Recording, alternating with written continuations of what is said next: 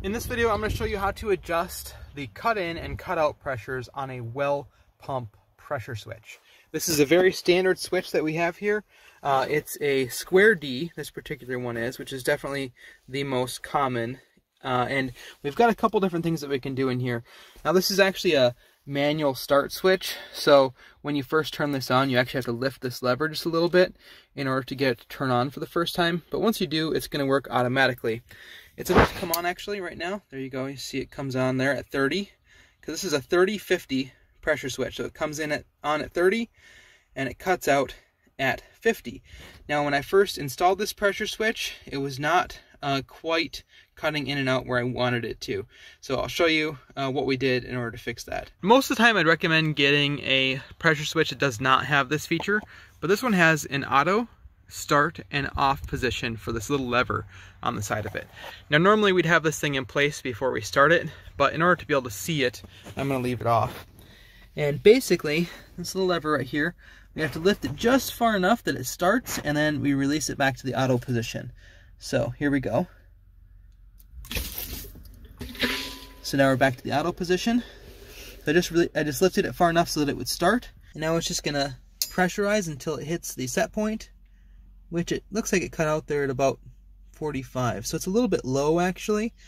I might actually increase that set point a little bit. And in order to do that, turn nut number one to raise cut on and off. Turn nut number two to raise off pressure only. Real quick question, why are you adjusting the pressure on your well pump?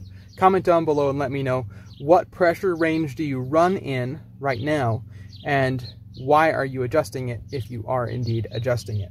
These terminals right here are live, 240 volts, and you oftentimes are in an environment that has good continuity to ground.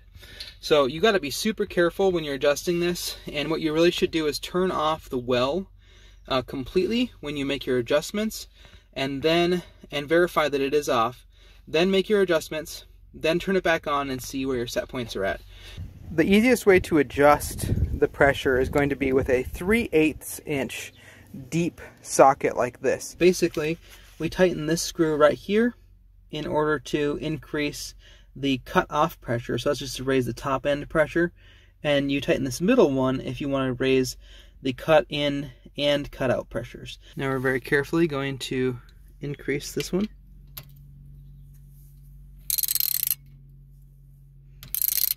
That's about half a turn.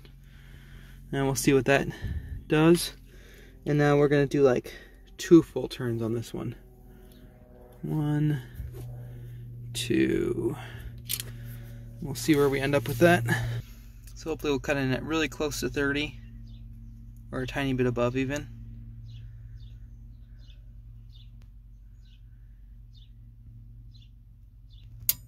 There we go, perfect. And then since we increased this screw by two turns, our cutout should be a little bit higher.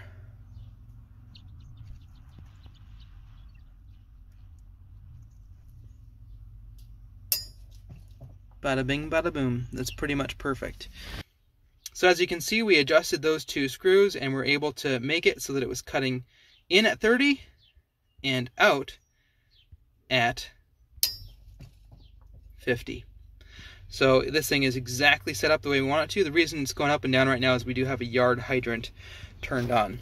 But yeah, in summary, this middle screw right here raises your cut in and cut out pressures together. So by tightening this screw, uh, it's going to um, increase that cut in pressure. So if it was 30, if we were to turn it one turn, it'd be like cut in at 32, cut out at 52. And then this screw over here only raises the cutout pressure. So if we just wanted it to be, you could even have it do 30, 60, or if you wanted to, then you would just increase the tension on this screw and you could adjust it until you hit the appropriate amount of pressure. Now, if you do adjust the pressure settings of your pressure switch, you also need to adjust the air pressure inside of your well pressure tank.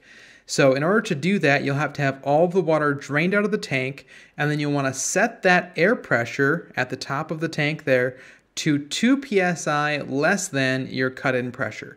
So in this case, we have it set to 30 psi. Therefore, we need to set the air pressure to 28. Now I would mention that you should actually set that air pressure in the tank a little bit lower if you do have one of these manual start uh, pressure switches like we have in this video.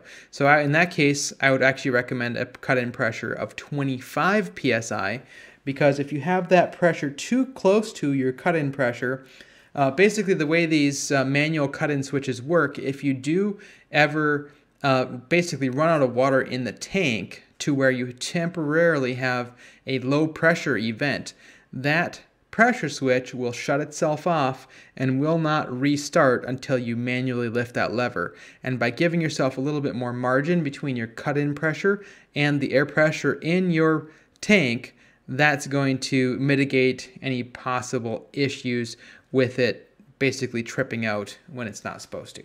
So make sure you adjust the pressure in your pressure tank uh, if you do adjust the cut-in pressure of your pressure switch. One nice thing about this type of switch is that you can put it all the way up into the off position if you want to just manually turn off the well pump while you are down in the well pit. Because a lot of times you don't have a proper disconnect in the well pit like this, which hopefully most of you don't have a well pit anyway. Comment down below if you still have a well pit. I'd be really curious to hear about it. Now I did want to give an honorable mention to the fact that this is one of the worst well houses that I've ever been in in my entire life and I highly recommend not having a well house like this and this definitely needs a lot of work. A wood basement on a well house like this is just absolutely terrible. Well pit in fact. And actually the reason I'm here today is that this uh, well pit flooded, filled up with water because the sump pump wasn't working, and uh, ruined the pressure switch. Some water probably ran back down the well casing, which means it probably needs to be sanitized. And so yeah, it's just a huge bummer. That's why by code now, uh, or when they drill new wells, the top of the well casing cannot be down here. It needs to be extended up above the surface so you don't have any chance of the uh, groundwater or surface water running down into the water table.